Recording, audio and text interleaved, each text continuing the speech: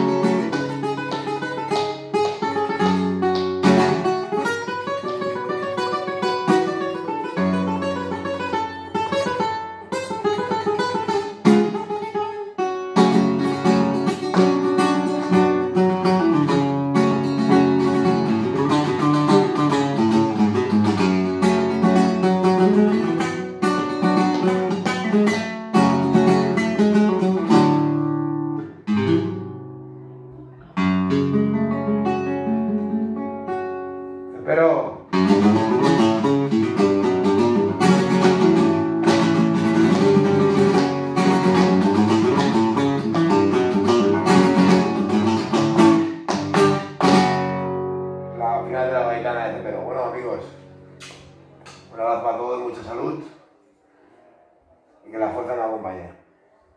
Un fuerte abrazo.